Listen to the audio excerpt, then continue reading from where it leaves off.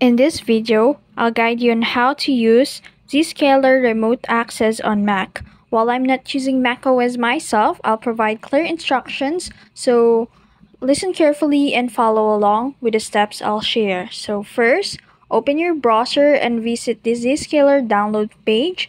This is usually provided by your organization or you can ask your IT department for the link and then download the Mac OS version of the Zscaler client connector. And once the download is complete, open the file to begin installation. After that, follow the installation procedure and then enter your Mac's administrator password if required to complete the installation. And after that, open the application. Once the app launches, you'll see a login screen. Enter your organization provided username or email and click sign in.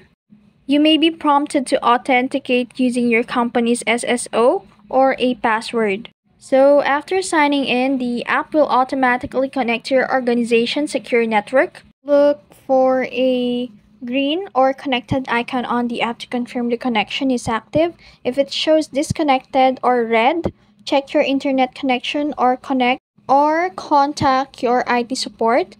And then to test remote access, Open your browser or required applications and try accessing your organization's internal resources or tools.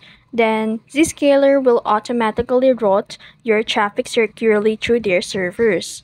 So if you face some problems or issues about authentication, connection problems, or app errors, for authentication issues, just double check your username and password or SSO details. Then for the connection problems, you can restart the Zscaler app or your Mac and try again. And then for the app errors, you can contact your IT admin for further assistance. And that's how you use Zscaler remote access on a Mac. I hope these steps help you get set up and connected securely. If you found this video helpful, don't forget to like, share, and subscribe to the YouTube channel.